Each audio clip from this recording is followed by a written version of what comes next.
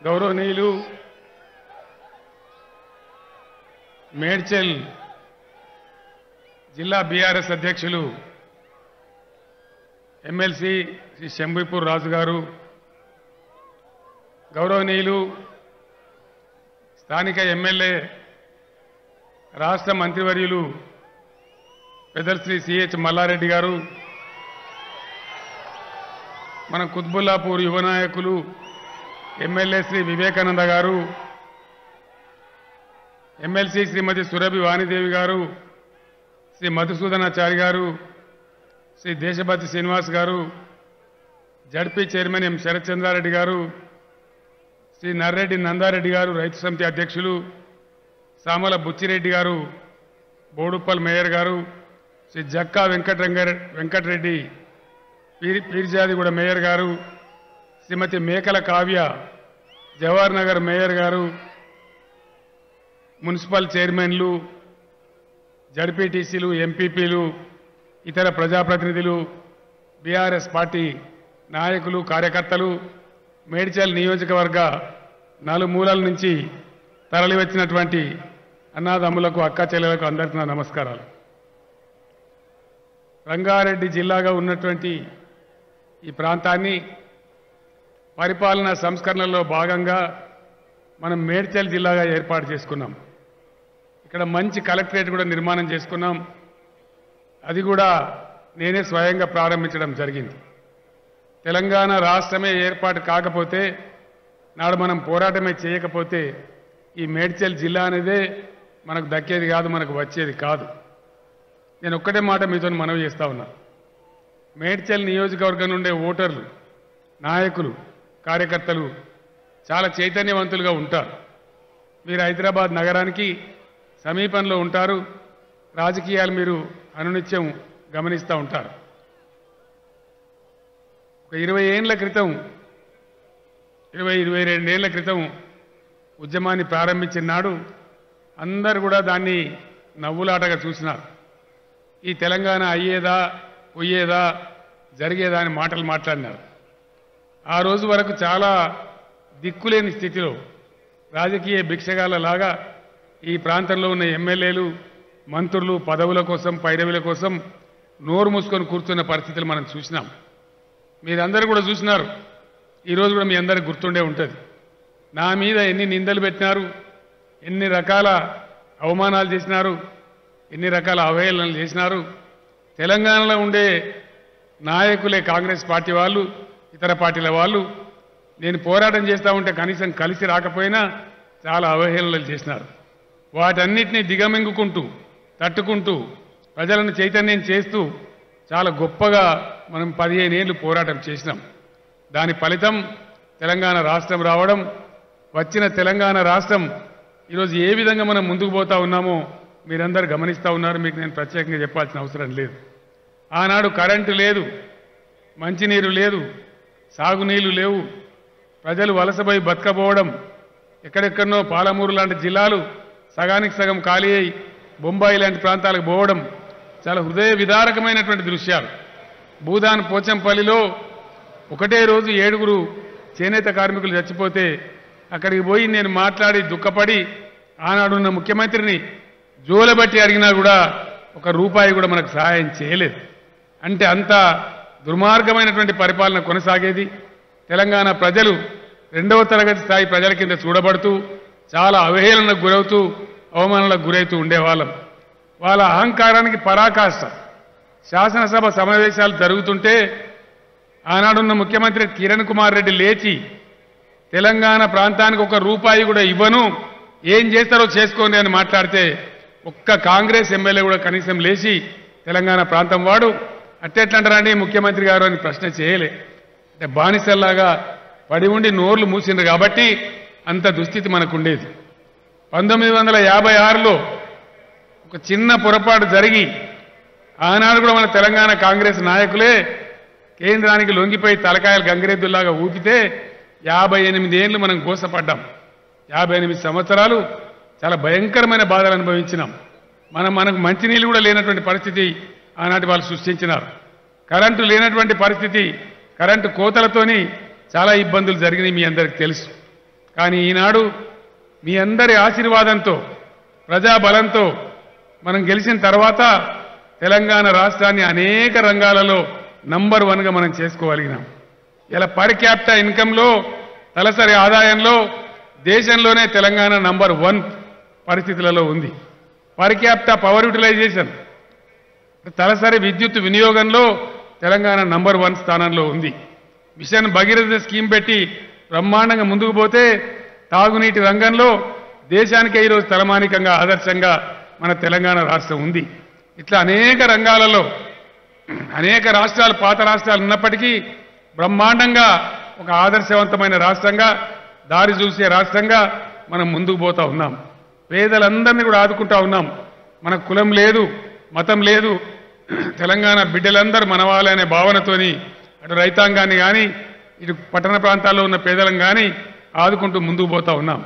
మీ అందరికీ తెలిసి ఇప్పుడే మల్లారెడ్డి గారు చెప్పినారు. మాకు ఒక ఇరవై ఆరు వేల ఇండ్లు వచ్చినాయని చెప్పినారు. డబుల్ బెడ్రూమ్ ఇండ్లు. తొమ్మిది లక్షలు పది లక్షలు పెట్టి కడితే దాదాపు ఆ ప్లాట్ల యొక్క విలువ నలభై లక్షలు యాభై లక్షలు ఉండే ప్లాట్లను వాళ్ళకు ఒక్క రూపాయి కూడా ఛార్జ్ వేయకుండా ఉచితంగానే ఫ్రీగానే వాళ్ళకి అందించే ఘనత తెలంగాణ రాష్ట్రానికి దక్కింది ఆ కీర్తి అనే మనవి చేస్తా ఉన్నా. నేను మొన్ననే మళ్ళీ మేనిఫెస్టో పెట్టినాం ప్రామిస్ చేసినాం. ఇంకో లక్ష ఇండ్లు కూడా రాబోయే టర్మ్లో కడతాం హైదరాబాద్ పేదల గురించి అని నేను చెప్పడం జరిగింది. నేను మీ అందరితో చేసే మనవి ఒకటే. బ్రహ్మాండమైన పద్ధతిలో పది సంవత్సరాలలోనే ఇంత అభివృద్ధి సాధించి ఇన్ని రంగాలలో మనం ముందుకు పోతా ఉన్నాం. ఈ అభివృద్ధి ఇదే విధంగా కొనసాగాలి. ఇప్పుడు వచ్చి మాయమాటలు చెప్పే వాళ్ళు చెప్తారు. కడుపు నొప్పి కోసం ఏదో ఇష్టం వచ్చిన మాటలు మాట్లాడతారు. ఇష్టం వచ్చిన వాగ్దానాలు చేస్తారు. ఎవరు మనను ముంచినారు? అసలు ఉన్న తెలంగాణ ఊడగొట్టింది ఎవరు యాభై ఏండ్లు మనం రం- రాచి రంపాన పెట్టింది ఎవరు మనం తిరుగుబాటు చేసిన నాడు తెలంగాణ బిడ్డలను కాల్చి చంపింది ఎవరు మీరు ముఖ్యంగా ఆలోచన చేయాలని చెప్పి నేను కోరుతా ఉన్నా. ఇలా మళ్ళీ వాళ్ళ చేతిలో పడితే మళ్ళీ కరెంటు బాధలు తప్పై పరిశ్రమలు బంద్ అవుతాయి అన్ని ప్రాంతాలు మళ్ళీ దెబ్బతినే ప్రమాదం ఉంటుంది. కాబట్టి మీరందరూ కూడా దయచేసి ఆలోచన చేసి బీఆర్ఎస్ పార్టీకి అండదండగా ఉండాలని నేను మనవి చేస్తా ఉన్నా. ఆపద మొక్కులు మొక్కే వాళ్ళు వస్తారు ఇప్పుడు. యాళ్ళకు వచ్చి ఇష్టం వచ్చినట్టు మాట్లాడతారు. ఆనాడు కరెంటు ట్రాన్స్ఫార్మర్లు కాలిపోతే మనం గొడగొడ ఏడుస్తుంటే ఏ ఒక్కడు కూడా మనం పట్టించుకోలేదు. పంట వేసిండు రైతు అంటే గ్యారంటీ సగం పొలం ఎండిపోవుడే. రెండు సార్లు మూడు సార్లు మోటార్లు కాలిపోవుడే. అంత దీనమైన స్థితిలో మనం ఉన్నాం. ఈరోజు కాళేశ్వరం ప్రాజెక్టు కట్టుకొని అటు పాలమూరు ఎత్తిపోతలు కట్టుకొని ఖమ్మం జిల్లాలో బ్రహ్మాండంగా సీతారామ ఎత్తిపోతలు కట్టుకొని సాగునీళ్ళు తెచ్చుకుంటా ఉన్నాం. మంచినీళ్ళ బాధ అయితే పూర్తిగా పోయింది. నేను మీకు చెప్పే అవసరం లేదు. బ్రహ్మాండంగా ఈరోజు ప్రతి గ్రామంలో ప్రతి బస్తీలో దాదాపు మూడు వందల యాభై కోట్లతోని మేడ్చల్ నియోజకవర్గంలోనే మనం మంచినీళ్ళ ఏర్పాట్లన్నీ చేసుకున్నామని మనవి చేస్తా ఉన్నాం. మల్లారెడ్డి గారు చెప్పినట్టుగా మేడ్చల్ నియోజకవర్గం ఎల్బీ నగర్ నియోజకవర్గం అదేవిధంగా ఉప్పల్ నియోజకవర్గం కుత్బుల్లాపూర్ నియోజకవర్గం ఇవన్నీ కూడా ఒక మినీ భారతదేశం. ఇక్కడ అన్ని రాష్ట్రాల ప్రజలు ఉంటారు. మన రాష్ట్రం నుంచి కూడా వచ్చే వాళ్ళు ఉంటారు. బాగా పెరిగిపోతూ ఉంటుంది. సంవత్సరానికి సంవత్సరానికి పెరిగిపోతూ ఉంటుంది. మీరు చెప్తున్న మాట వాస్తవం. మల్లారెడ్డి గారి కోరిక కూడా చాలా సమంజసమైంది. మీ మున్సిపాలిటీలు మీ కార్పొరేషన్లు మీ గ్రామాలు ఈ చుట్టూ ఉన్నటువంటి పెరిఫరల్ కాన్స్టిట్యున్సీస్ అంటాం. హైదరాబాద్ పరిసరాలలో ఉండే కాన్స్టిట్యున్సీలు ప్రతి సంవత్సరం దేశవ్యాప్తంగా మైగ్రేట్ అయి బతకడానికి వచ్చే వాళ్ళకు నిలయాలుగా ఉంటాయి కాబట్టి వాళ్ళు వచ్చేవాళ్ళు కూడా పేదవాళ్ళే కాబట్టి ఎప్పటికప్పుడు ఇన్ఫ్రాస్ట్రక్చర్ పెంచడానికి రాబోయే రోజులలో సెపరేట్ బడ్జెట్ పెట్టి వీటి కోసం అన్ని విధాల చర్యలు తీసుకుంటామని నేను మనవి చేస్తా ఉన్నాను. ఎట్లా ఎట్లా ప్రతి సంవత్సరం జనాభా పెరుగుతుందో మంచినీటి వసతి కానీ సివరేజ్ కానీ ఇంకా ఇతర వసతులు కానీ కరెంటు వసతులు కానీ ఆటోమేటిక్గా పెరుగుతూ పోవాలి. ఆ రకంగా పెరిగితేనే మనం బాగా అభివృద్ధి కాగలుగుతాం గొప్ప నగరంగా ఉండగలుగుతాం. అందుకోసం ఆ చర్యలన్నీ కూడా తీసుకుంటాం. మల్లారెడ్డి గారు కోరిన నిధులన్నీ కూడా మీకు అందజేయడం జరుగుతుంది. మీరు ఎటువంటి చింత చేసుకోవాల్సిన అవసరం లేదు అని నేను మనవి చేస్తా ఉన్నా. నేను మొన్ననే మనం ఏదైనా చెప్పినాం ప్రజల కంటే నూటికి నూరు శాతం చేసినాం. చాలా వరకు నైంటీ నైన్ పర్సెంట్ చేసినాం. మన కొత్త మేనిఫెస్టో పెట్టుకున్నాం. మన రాష్ట్రంలో తొంభై మూడు లక్షల తెల్ల రేషన్ కార్డు హోల్డర్స్ ఉన్నారు. వారందరూ కూడా బీమా సదుపాయం కల్పించాలని రైతు బీమా తరహాలో కేసీఆర్ బీమా ప్రతి ఇంటికి ధీమాని పెట్టుకున్నాం. బడ్జెట్ మార్చిలో బడ్జెట్ పాస్ అయిన తర్వాత ఈ తొంభై మూడు లక్షల కుటుంబాలకు కూడా ఎవరికి ఎటువంటి అపాయం జరిగినా రైతు బీమా తరహాలో వాళ్ళ కుటుంబాలకు సహాయం అందుతుందని నేను మనవి చేస్తా ఉన్నా. అట్లాగే రాష్ట్రం బాగా అభివృద్ధి చెంది వ్యవసాయం బాగా బాగుపడి అద్భుతంగా పంటలు పండిస్తూ ఉన్నాం. మూడు కోట్ల టన్నుల వడ్లు పండుతూ ఉన్నాయి. మనమే ఇంత దేశానికి అన్నం పెట్టే పరిస్థితికి వచ్చినప్పుడు మన ప్రజలందరికీ కూడా మన రేషన్ కార్డు హోల్డర్ల అందరికీ కూడా సన్న బియ్యం సరఫరా చేయాలని నిర్ణయించినాం. ఆ రకంగా అందరికీ కూడా బ్రహ్మాండంగా అన్నపూర్ణ అనే స్కీమ్ కింద సన్నబియ్యం అందుతుందని నేను మనవి చేస్తా ఉన్నా. మనం పెన్షన్లు కూడా గతంలో రెండు వేల రూపాయలు ఇచ్చుకున్నాం. వెయ్యితో మొదలుపెట్టాం పెరిగినా కొద్ది రెండు వేలు ఇచ్చుకున్నాం. ఈ నేను ఐదు వేల రూపాయలు ప్రకటించినాను. ఏకదం ఐదు వేలు కాదు. ఇమీడియట్గా మూడు వేల రూపాయలకు పెరుగుతుంది. మళ్ళీ సంవత్సరానికి కొంత పెరుగుతూ టర్మ్ కంప్లీట్ అయ్యేటప్పటికీ ఐదు వేల రూపాయల పెన్షన్ కూడా పెరుగుతుందని నేను మనవి చేస్తా ఉన్నాను. సౌభాగ్య లక్ష్మి అనే స్కీమ్ కింద అరువులైనటువంటి పేద మహిళలందరికీ నెలకు మూడు వేల రూపాయల గౌరవ భృతి కూడా అందించడం జరుగుతుందని మనవి చేస్తా ఉన్నా. అదేవిధంగా రైతు సోదరుల కోసం రైతు బంధు కూడా పెంపుదల చేసుకున్నాం. పదివేలు ఇచ్చేదాన్ని వచ్చే సంవత్సరం పన్నెండు వేలు చేసుకొని ప్రతి సంవత్సరం కొంత పెంచుకొని పదహారు వేల రూపాయలకు చేసుకుంటామని మనవి చేసినాం. అగ్రవర్ణాలలో కూడా పేద పిల్లలు ఉన్నారు కాబట్టి మాకు కూడా రెసిడెన్షియల్ స్కూల్ పెట్టాలని చెప్పి వాళ్ళ నుంచి డిమాండ్ వచ్చింది. వాళ్ళ గురించి కూడా అగ్రవర్ణ పేదల కోసం కూడా ఒక నూట పంతొమ్మిది గురుకుల పాఠశాలలు పెడతా ఉన్నామని మనవి చేస్తా ఉన్నా. ఇంతకు ముందు నేను మనవి చేసినట్టు నగరంలో మరొక లక్ష డబుల్ బెడ్రూమ్ ఇళ్ళ నిర్మాణం చేసి ఈ కాన్స్టిట్యున్సీలన్నిటి కూడా అందించడం జరుగుతుంది. మీ నియోజకవర్గం మల్లారెడ్డి గారు చాలా జోవియల్ మనిషి. ఆయనకు భగవంతుడు చాలా సంపద ఇచ్చినాడు. ఇప్పుడే ఆయన చెప్పినాడు నా సొంత డబ్బులతో కూడా ఊళ్ళలో కొంత రోడ్లు కానీ ఇన్ఫ్రాస్ట్రక్చర్ కానీ చేసినామని చెప్పినాడు. అది ఆయన చేసిన సేవ మీకు తెలుసు. మల్లారెడ్డి గారి గురించి నేను మీకు చెప్పాల్సిన అవసరం లేదు. మల్లారెడ్డి గారు లాంటి అసమున్న మనిషి ఉంటేనే ఈ ఆరు లక్షల మేడ్చల్ని మోయగలుగుతారు. అది మీ అందరికీ తెలుసు. ఈ బరువు మామూలంతో అయ్యే పని కాదు. కాబట్టి మల్లారెడ్డి గారు ఇచ్చిన సేవ అనే సింపుల్గా ఉండే వ్యక్తి చాలా చిన్న జీవితం నుంచి కష్టపడి పైకొచ్చిన వ్యక్తి కాబట్టి కష్ట సుఖాలు తెలిసిన వ్యక్తి కాబట్టి మీరందరూ కూడా దయచేసి మరొకసారి మల్లారెడ్డి గారికి ఘన విజయం చేకూర్చాలని చెప్పి నేను మనవి చేస్తా ఉన్నా.